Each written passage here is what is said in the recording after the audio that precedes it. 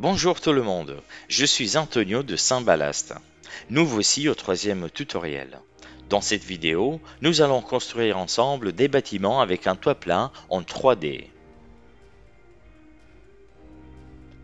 Dans la dernière vidéo, nous avons vu comment réaliser un sketch en 2D.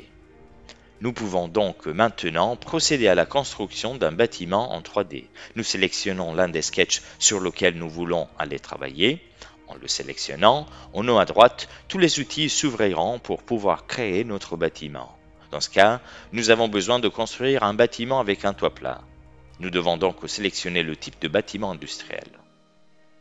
À ce stade, dans le rideau, nous trouverons tous les types de bâtiments industriels que nous pouvons réaliser toit plat, toit shed, toit travé et toit en berceau.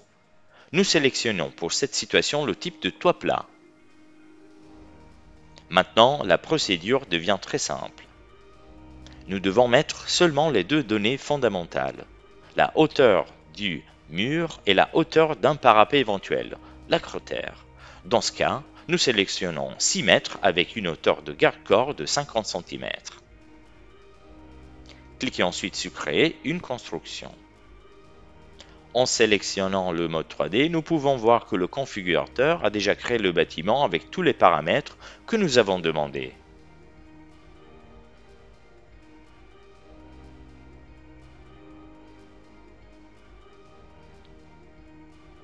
Une fois que vous avez réalisé un bâtiment en 3D, en cliquant dessus, vous avez d'autres options disponibles, toujours dans notre menu déroulant.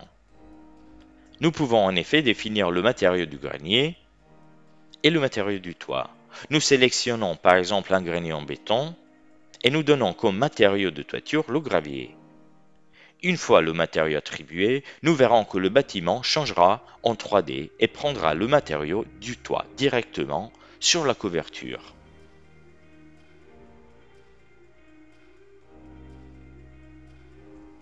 Voyons maintenant ensemble comment construire quelques bâtiments.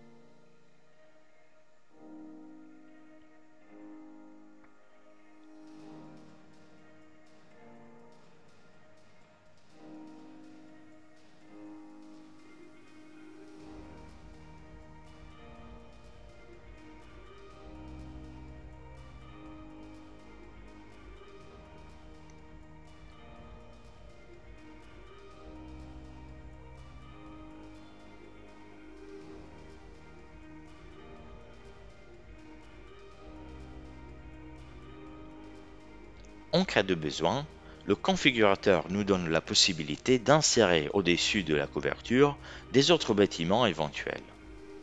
Nous sélectionnons le bâtiment, nous cliquons sur la transparence et nous supposons qu'il y a un bâtiment supplémentaire sur ce bâtiment. Pour ce faire, le configurateur nous donne à nouveau la possibilité d'insérer des formes que nous pouvons modifier et puis construire.